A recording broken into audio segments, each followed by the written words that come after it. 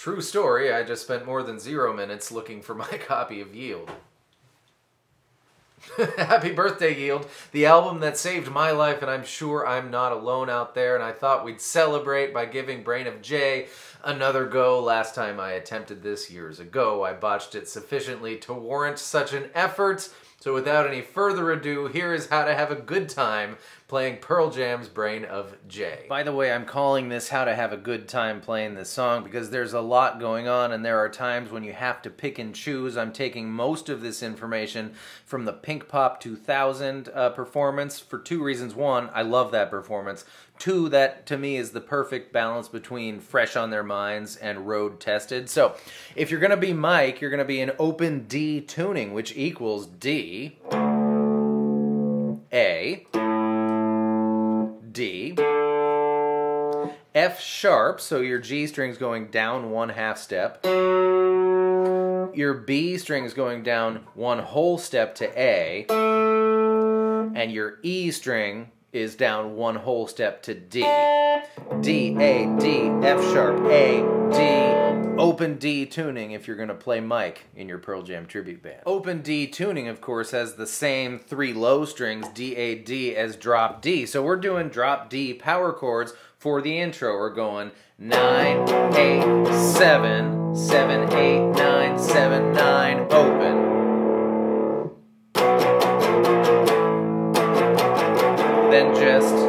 Love how that low string just jangles away. Nine, eight, seven is the second half. Nine, eight, seven, seven, eight, nine, seven, nine, oh, nine, eight, seven. Man, I'm good at saying numbers fast. Mystery of the Universe time. Listen to the album version and you'll hear a very high note in Mike's intro. It's the baby E string in the same frets.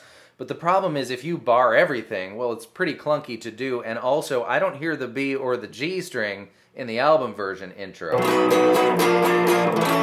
There's no major third in that. What I do here is 999, nothing, nothing, 9.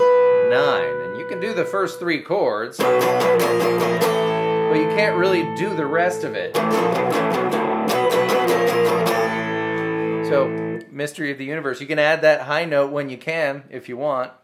But if you're going to play Stone Gossard in your Pearl Jam tribute band, you're in standard tuning. Thank you, Stone. It's on the E string. Seven, six, five, five, six, seven, A5, E7, open E string. And then, of course, just like Mike, but two frets lower and only one string. Seven, six, five for the second half.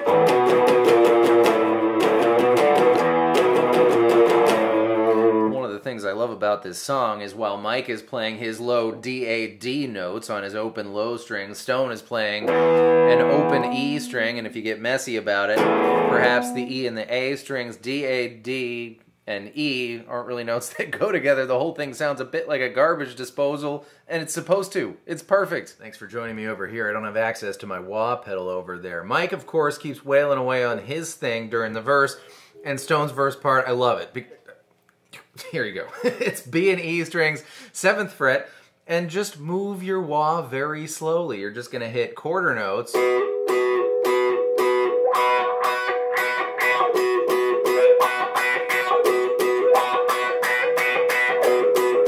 On the record, he gets a little more varied with it. We're talking about the uh, the B minor pentatonic scale, so you can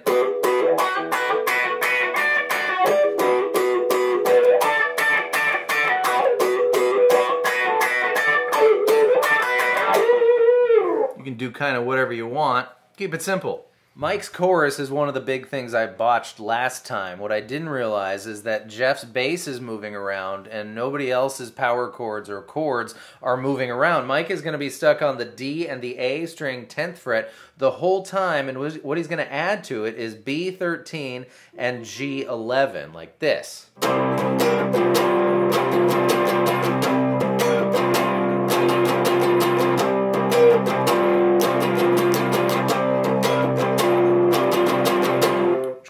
Right along with the vocal. Who wrote that line? Did Eddie write the doo doo, or did Mike write it? Mystery of the Universe number two. Stone's chorus is very similar to Mike's. Remember, Mike's playing a drop D power chord on the 10th fret. Normally, that would be a D note on the E string, but because the E string is now a D string, it's really a C note. Mike is playing a C power chord, and Stone is playing a little bitty C minor chord, 888, and you can add 10 if you want. I'm going to, and the boo boo he does as well, it's B11 and G10.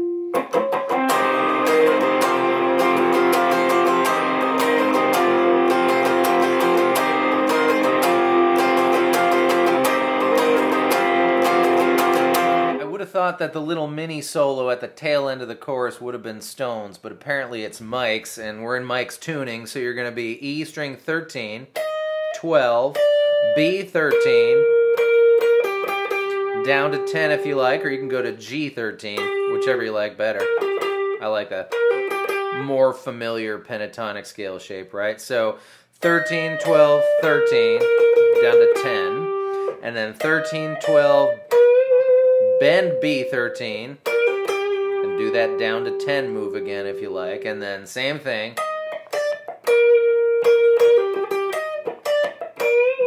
And you just end on bending that B string. You can kind of do Mark Mark's. sure, Mark's rhythm part and his solo part uh, if you don't want to give up the goose. I would say maybe not both the strings there. Maybe just hang on the now low D string so it doesn't eat up all the sonic space for the solo. But you're going to sacrifice the bend. But again, you're going to keep all the rest of the action. So, gotta use the G string.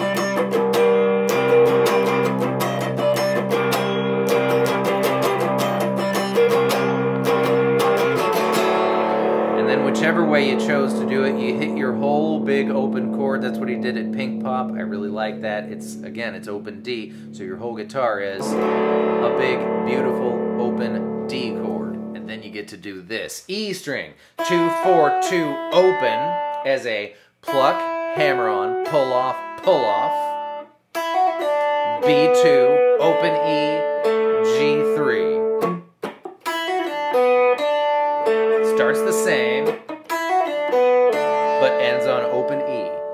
Can fill it up, I just realized this, you can fill it up all the way if you want because we've got the correct open chord going. Just strum gently so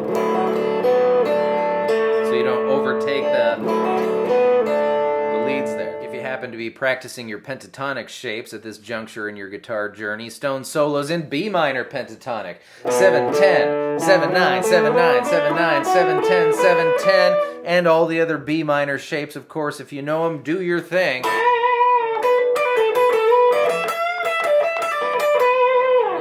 Last chorus, etc., etc. And here's one of the things I love most about Pearl Jam they will throw a key change at you, and you won't even realize it happened. The last outro is one fret higher than the intro. So instead of 9, 8, 7, etc., it's 10, 9, 8. And I didn't realize that happened on my last attempt, so I was fooled entirely. Same exact pattern.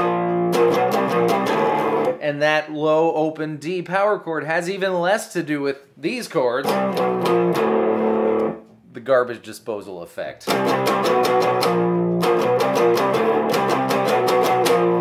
Which means I presume that Stone, of course, is doing his same thing, but one fret higher. So 8, 7, 6, and A string 6th fret. Listen to that, it's perfection. I'm